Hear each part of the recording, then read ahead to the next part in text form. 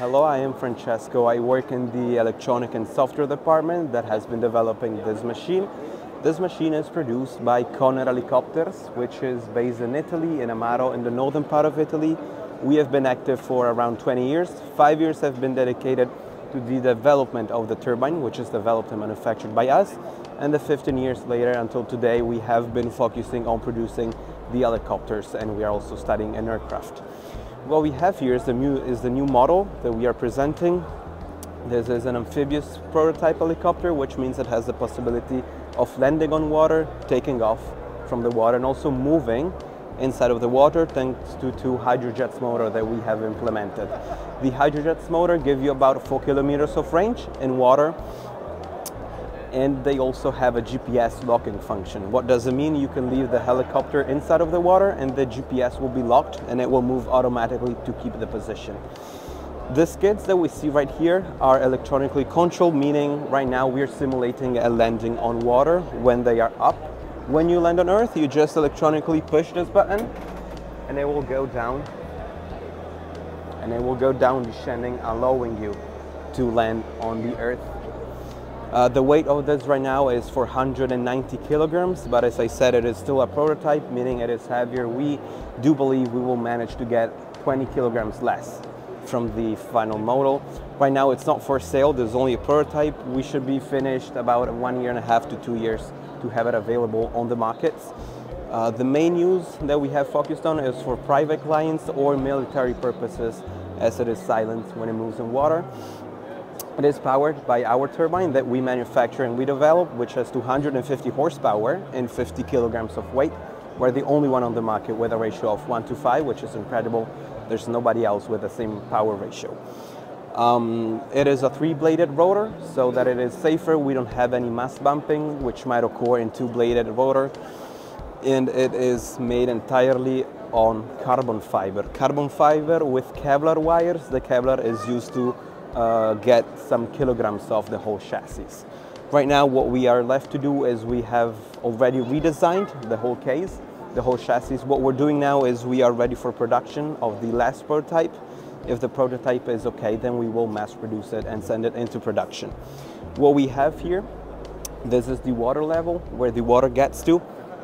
Right here, these wings are electronically controlled. They help the helicopter maintain its balance when in water or when also moving in the water.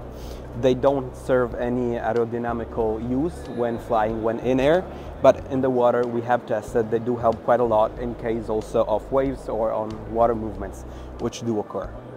So what we have here is the Konner TK250, which is a turbine that we have developed and manufactured. It is unique in the world. It comes to a ratio of 1 to 5 with 250 horsepower of total available power. It is powered also by car diesel, which is an amazing, exceptional feature to have because in some areas of the world, not, the, not all fuels used by the jet worlds are available, so we can utilize diesel. It has a safety feature, which is the hybrid system, which gives about 90 horsepower extras in case of turbine failure. You still have about 9 horsepower for a maximum of 3 minutes to get safely to the ground and land without, land without any issues.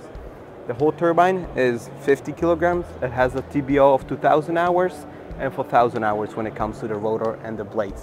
When it comes to um, the 2,000 hours, when you're done with them, we either send you a technician or you can bring your machine to our company and we do the checkup. If everything's okay, you have two more, um, 2,000 more hours of flight time that you can fly with it.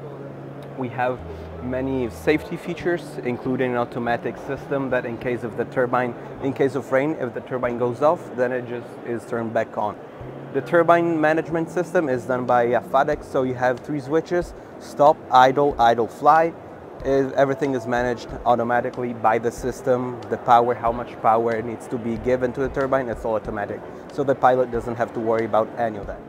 So with this one, we have a maximum range of about 600 kilometers.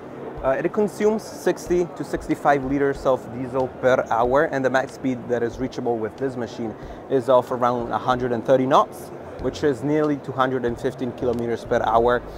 Um, it is an incredible fast machine with a lot of range when it comes to these size of machines, 200 liters when it comes to the fuel tank, diesel, as I said before, or any aviation fuel which is normally used. This is the inside cockpit. First thing we notice is the space. There's plenty of space in front of me, on top of me, which is amazing.